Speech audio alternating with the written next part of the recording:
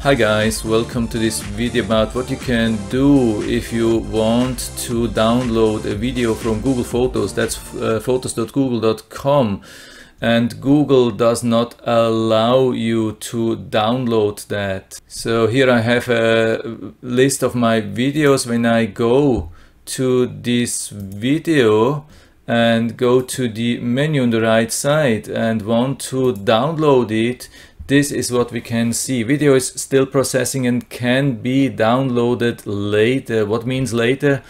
One minute, one hour, one day, one week, one month, one year. Nobody knows it. We can find reports from people all over the internet where they say that even after a couple of weeks or months or even years, Google does not process them and allow to download. But maybe it's the only place where you have this video. If you have lost everything else like local on your phone hard drive pc whatsoever and it's the only place where you have this video and you need it locally as a file and google does not allow you to download what you can do is there a solution for that? Yeah there's a partial solution for that. I mean here uh, there's nothing we can do. Even when we go it's really interesting when we go to youtube let's say you open a YouTube channel and you want to import that, you can import this here on the old legacy import menu from YouTube. You can actually import and what does it say?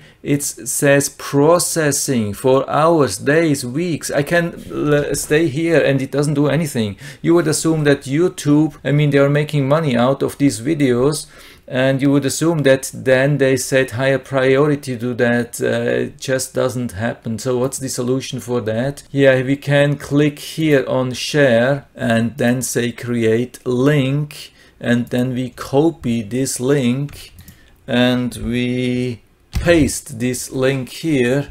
And then we get a new page which looks a little bit different and we have this menu here and we can say download all. I don't know why it says all that's just one video here but anyway yeah download all. And then easily it we can download the thing here to the hard drive and it won't take long usually I mean depending on your internet speed you can download it. What's the disadvantage? Yeah we can already see it here. When we go back to the original site where we came from uh, here here we have this setting here and we can see the quality and normally we can I mean usually we can increase the quality to 720 to 1080p whatsoever. Here it says only 380p and the downloaded file will be only 360p but at least you get a file. You can you have something like for an emergency case if you really need that 360p is not perfect but uh, you can see I mean you can definitely watch that. Here it's a little bit bigger. I mean depending on how fast you move around it will be a little bit better or worse but uh, you can definitely do something with that. It's not impossible with 360p but it seems to be the only solution.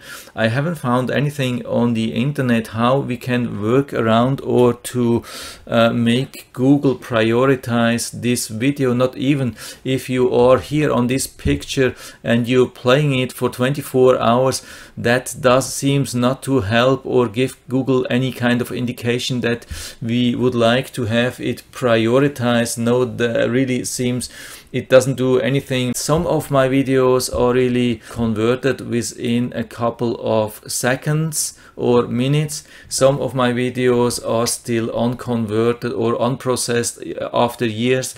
I have absolutely no clue about that. If you have more information or if you have a better workaround and maybe you know a way how to make it happen even with uh, 1080p instead of 360p would be really nice to leave everything down into the feedback area or in the feedback area and also if you have any questions or other comments, just don't hesitate to write into the feedback area. I'm always happy to talk about these things and learn new stuff. And I hope I was still able to help you a little bit. And if you like the video, give me a thumbs up, subscribe my channel. Thanks for watching and see you next time.